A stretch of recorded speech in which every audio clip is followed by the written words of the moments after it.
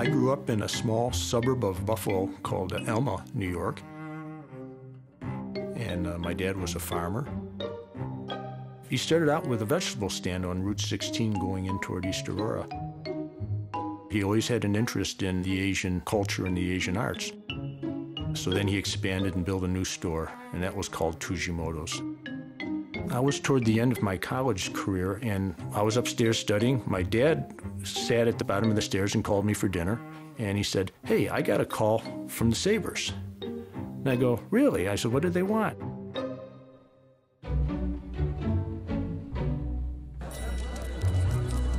The birth of the WHA in 1972 was a threat to the NHL. They were uh, running around signing players and signing amateurs. And they would sign it before the NHL had a chance to. So in 1974, the NHL, led by President Clarence Campbell, moved to protect its turf. The general manager decided to have a secret draft. Instead of meeting in Montreal and sitting around tables, there would be phone calls to each team's hockey department. This was not a conference call, it was one call at a time. The process was painfully slow. You would hear Clarence Campbell then announce, is Buffalo on the line? Who's representing Buffalo? George Imlach, you know, that kind of stuff. Between picks, teams had no idea who was being drafted. So every time Campbell made a call, he read and reread each selection, player by player. He would give you all the names and announce them in this dry, you know, lawyer tone. So it got deadly boring. The draft lumbered into its second day, and as the 11th round neared, Sabres GM Punch Imlach and Director of Communications Paul Wieland were inspired to have some fun. the time came and I was for sitting there and we are getting comatose practically. And I don't know what started it, but I think it was Imlach said the first thing, we ought to draft someone that nobody knows about. So then we all jumped all over it, right? Yeah, that'd be funny. Wouldn't it if we drafted, a, uh, what about a guy that doesn't really exist?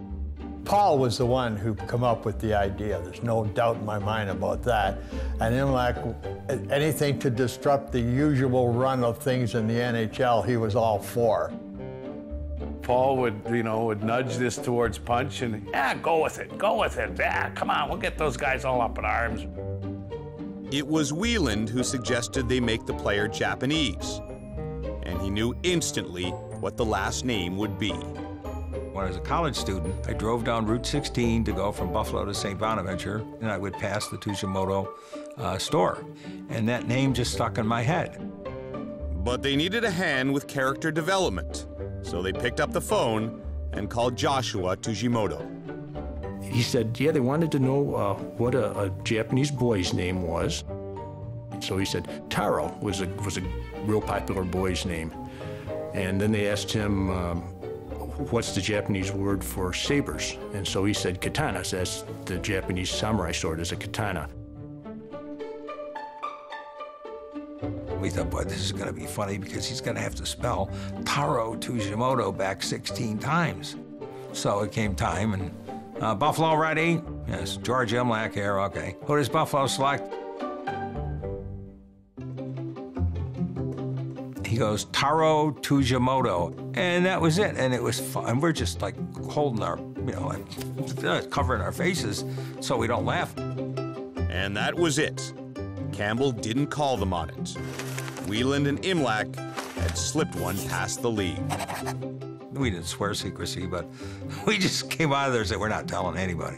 The owners thought we had a Japanese hockey player coming. We never told them. So it was that Taro Tsujimoto of the Tokyo Katanas snuck into the NHL record book. Come September, his name was on the Sabres training camp roster, and the team even had a stall set up for him. Everybody was wondering about this Taro guy. Like, you know, who's this who's this Taro guy? Who's this Taro guy? Imlach kept up the ruse with reporters as well. And he's describing him. He says, "Well, we don't have full-time scouts in the Far East, but we had uh, we had this kid scouted, and he looks like it. We hope he comes to camp." And some writers actually bought it completely. And say, "This guy's training in the Himalayan mountains. He's the fastest skater to ever live." I said, "They might even forget about the French Connection." So, The media just jumped all over. They thought it was the greatest thing going on.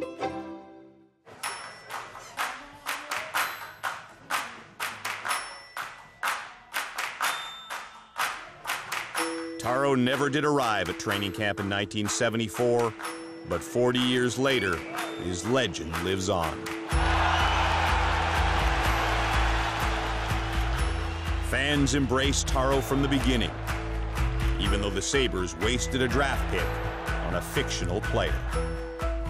Two players that were drafted after Taro. Dave Lumley won two cups in Edmonton. Stefan Persson won four cups with the Islanders. So, I mean, you think the Sabres could have had two really good hockey players.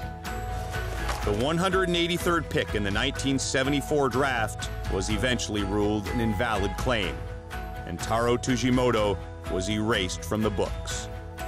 In spite of that, he remains woven into the fabric of Buffalo's history. This is all part of it. It's chicken wings and beef on weck and Taro Tsujimoto, and it's all part of the Buffalo you know, mystique.